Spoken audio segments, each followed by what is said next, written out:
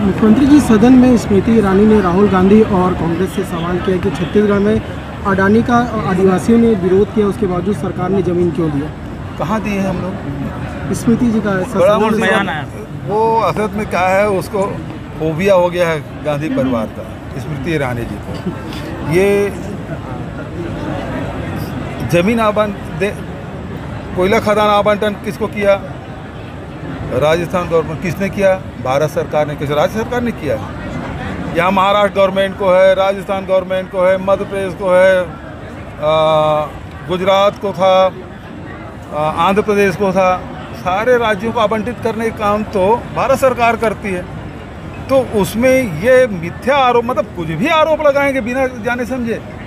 और हम लोगों ने कोई ज़मीन नहीं दी।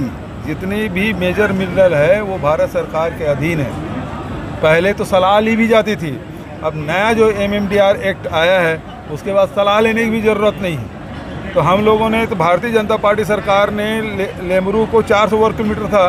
भारत सरकार से अनुमति मिली थी उसको भी नोटिफाई नहीं किया था।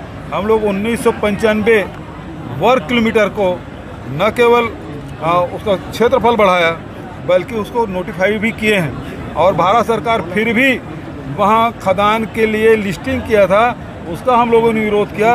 अभी सुप्रीम कोर्ट में भी एफिडेविट हम लोगों ने दिया है कि ये जो लेबरू के अंदर में जो खदाने आ रहे हैं, उसे आवंटित न की जाए। यहाँ बायोडाइवर्सिटी के लिए उपयुक्त नहीं है। ये बात हम लोगों ने कहा और ये लिखित में है एफिडेविट है, कोर्ट में दिया गया है। अब उसके बाद स्मृति ईरानी जी झूठ बोल रही हैं तो क्या करें? जैसे प्रधानमंत्री जी झूठ बोले, अस्सी परसेंट धान खरीदी हम लोग करते हैं। अरे भैया, राज्य सरकार करती है यार। बाईस हज़ार करोड़ रुपये हम लोगों ने दिया है।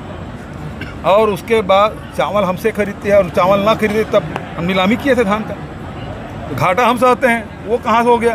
तो प्रधानमंत्री भी यहाँ आके झूठ बोल के गए हैं। वैसे रक्षा मंत्री, वैसे गृह मंत्री, अब स्मृति ईरानी जी झूठ बोली तो नया बात क्या है?